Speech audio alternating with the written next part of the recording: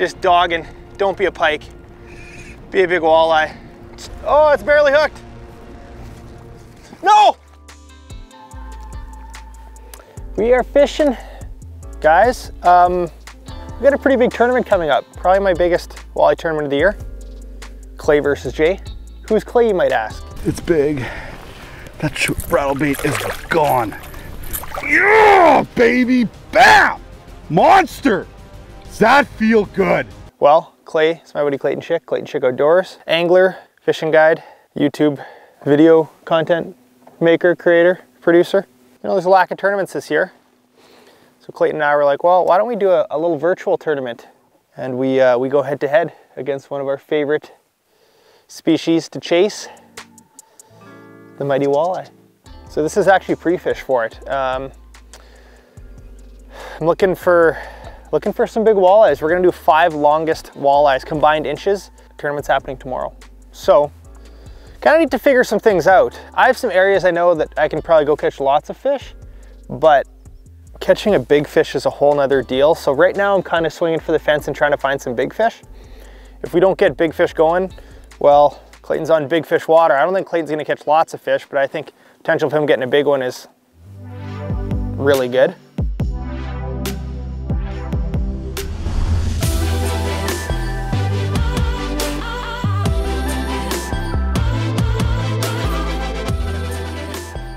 Well guys, I was out on opening day. I'm gonna give you guys a little video clip that I captured that day. I wasn't filming, but I did pull the camera out for one bite, which was my only bite of the day. In just a couple days, I'm about to go head to head against Clayton Schick. Today's opening day of walleye season in Northwest Ontario. Wasn't filming, just caught my first walleye of the season. And it's not a small one. Clayton, I'm coming for you. Five of these next week is gonna be awfully tough to beat. All right, let's get a release of this. Look at that. Better watch out, Clayton. Coming for you. We're just fishing, uh, fishing a rocky, oof, fishing a rocky point by the mouth of a spawning creek. There's a fish. Is it a walleye? Is it a bass? Sometimes the walleye and the bass can be mixed together this time of year because they're all pushing up shallow. And we got ourselves a smallmouth bass. Not gonna complain, but uh, this won't count against Clayton, unfortunately. The water is warming up, so I'm expecting these walleyes are gonna be shallow, but uh, sometimes they will pull out deeper, some of the bigger fish too. Like you can kind of always find walleyes deep, so we might spend some time poking around deep as well. I don't know, I, I find spring walleyes can be pretty challenging. As far as species go and, and finding them in the spring, I would say I'm definitely less confident with walleyes, but just because I haven't done it as much that's why we're pre-fishing.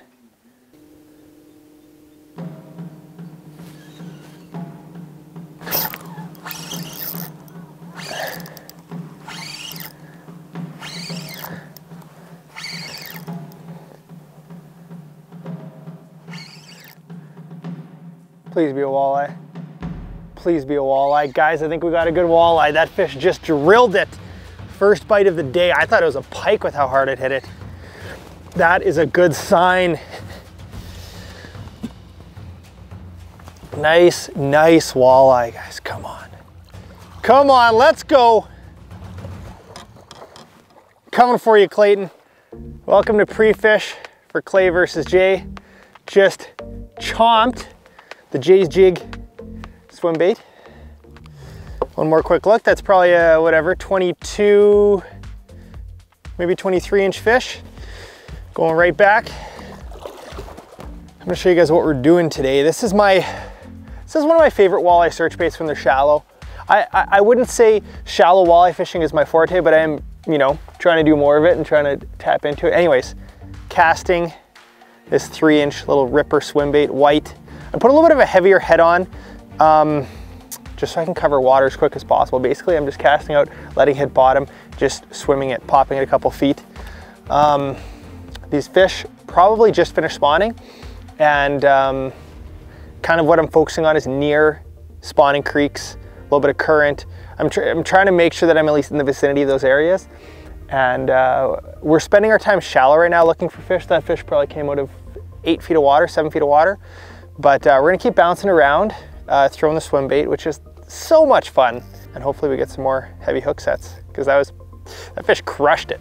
It's almost like bass fishing. If you guys have ever watched In-Fisherman, you've probably seen Doug Stange use swim baits for walleyes and it's just, it's such a good search bait. I mean, I know pitching a jig and a live minnow would probably be a good option too.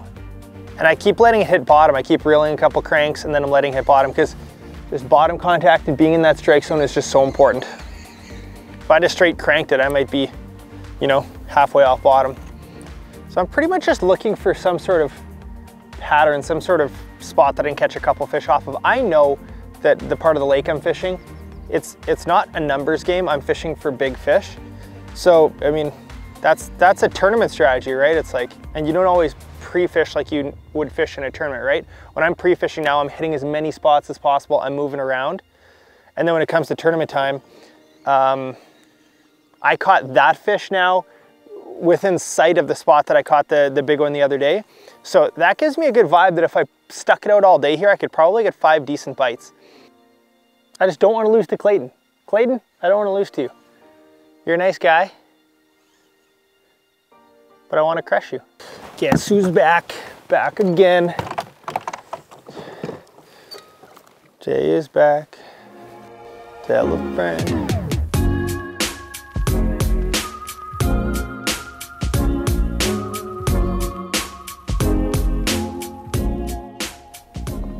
Wind blowing into the back, little muddy bay near the spawning area. I mean, it sounds good. Could be good. What would Clayton Schick do?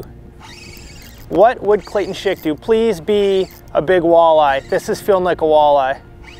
It is feeling like a nice walleye, guys. I'm gonna spot lock us here. Nice, Walter. Oh, that's bigger than I thought.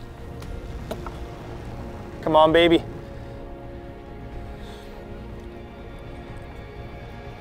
Oh, oh, oh, oh, oh. Yes, yes, yes. Spring walleyes on swim baits, the best search bait, guys. We're gonna, we're gonna measure that guy too. Here we go, guys. Look at that chunk. Look at that walleye, guys.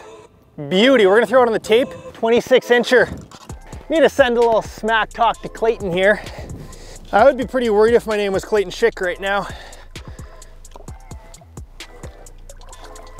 Oh, ho, ho, ho. Hey, welcome back. So I'm gonna show you guys what I'm using. You know what, this is rod is a little bit on the lighter side, but I really like how it fishes these lighter swim baits. It's just so sensitive. This is actually my hair jig rod. Seven and a half foot medium light NRX.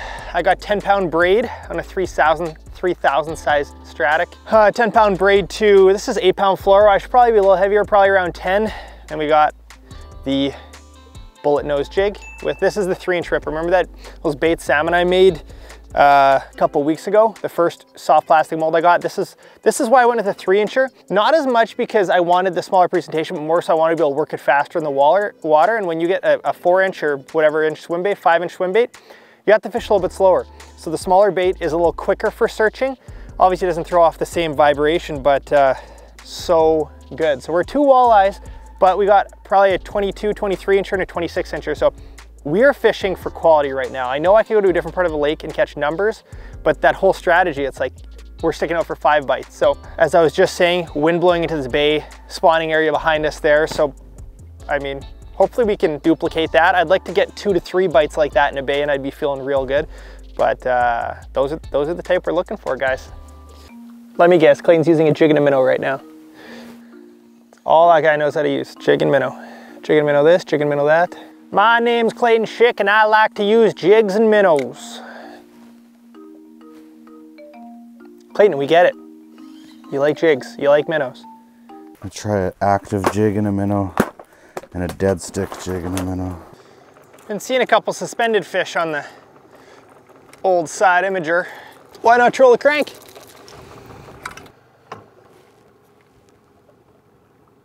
That's a fish. That's a fish. Oh, oh, thought I was snagged. Oh, it's got some size to it. Oh, it's off. Oh! Oh, I was, I was just pounding. I, th I think it was a bass, but I don't know. Ah!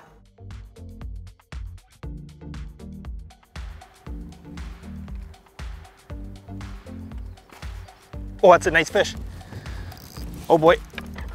Oh, that's a nice fish. Stay on, stay on. I'm reversing, I'm reversing, just got throttled. Don't be a bass. It's coming up like it's a bass. I can't tell, it's splashing on the surface. We got a big old smallmouth. Trolling the deep dive and live target smelt and it's catching smallmouth. Oh well. This is what I'm running. It's a deep dive smelt. Is getting down around 12 to 15-ish feet, depending on how much line I have out. Uh, this I got a little heavier fluoro on, I think probably 12 or 15.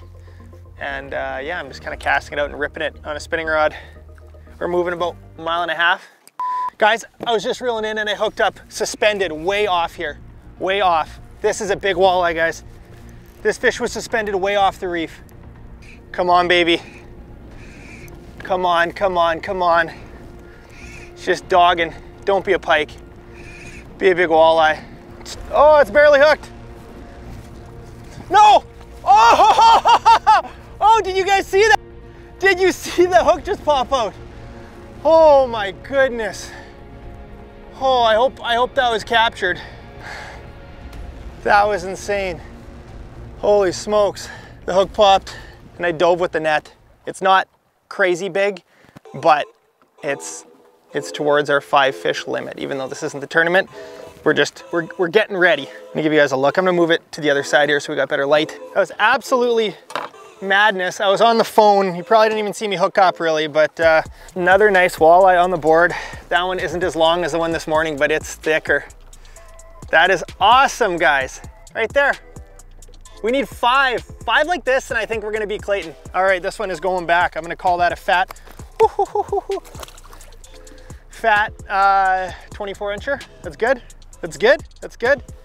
So since I haven't really uh, found a spot on a spot yet, I was just trolling around using the electric and just popping this behind the boat.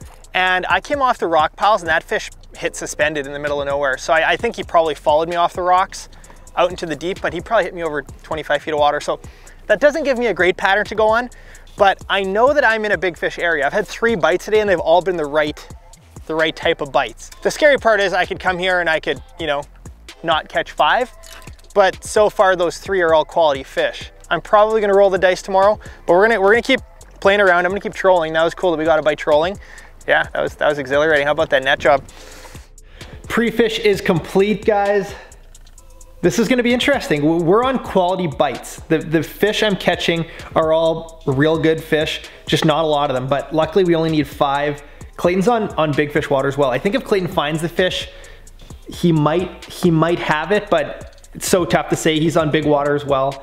Um, thank you guys so much for watching. Make sure to subscribe to Clayton. Make sure to subscribe to this channel. Don't forget to wear your life jackets on the water. And uh, next time we see you guys, it'll be competition time.